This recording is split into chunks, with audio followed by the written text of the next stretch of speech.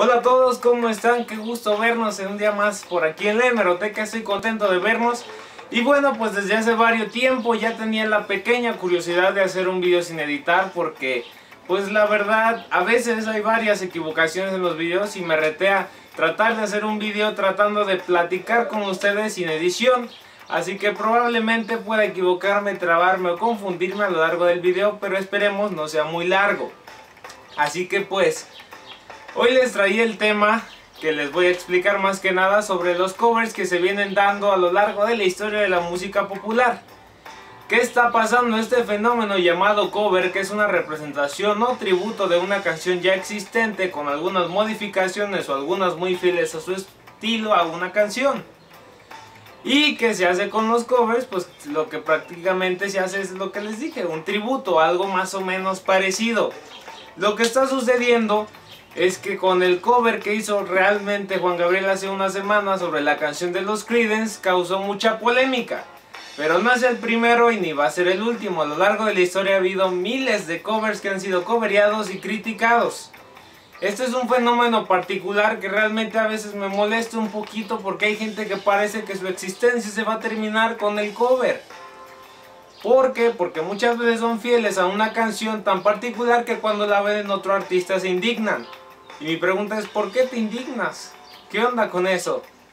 Siempre he tenido el fundamento de que cuando un cover se hace, no desprestigia tu canción. Si los Guns N' Roses hacen un cover de Frank Sinatra, no van a tomar la canción de Sinatra y la van a arruinar. A excepción de que se haga una remezcla y se le cambie la música a su voz, ahí sí se podría cuestionar. Pero no del todo realmente. Entonces, si Juan Gabriel hace un cover de los Creedence, no le veo sentido enojarse porque tu canción ahí está.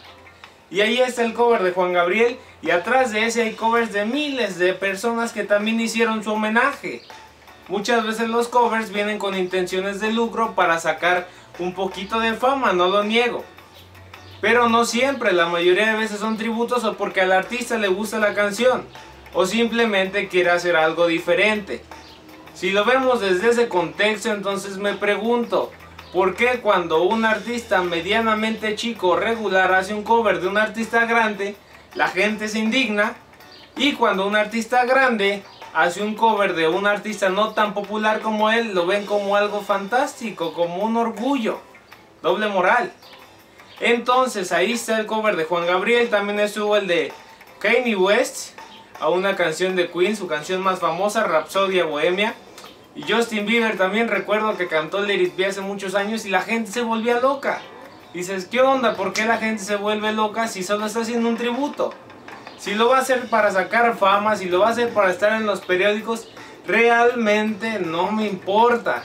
La canción de los Beatles está ahí grabada y está en su disco y no le hicieron nada. Nada, nada. Entonces, para mí, mi punto de vista particular es que no hay que frustrarnos por un cover. Son tributos, son homenajes, muchos buenos y muchos peores. Hay ocasiones en que el cover es mejor que la canción original. Pocos casos, pero los hay y son muy buenos. Entonces, pues, ¿para qué enojarse? Y bueno, pues así finalizo el video de hoy. Espero les haya gustado este pequeñito experimento. El video está fresquecito y original, así se va a subir sin algún retoque, sin alguna edición, sin maquillaje. Así que pues bueno, les agradezco y nos estamos viendo. Bye bye. ¡Pum! Cortamos.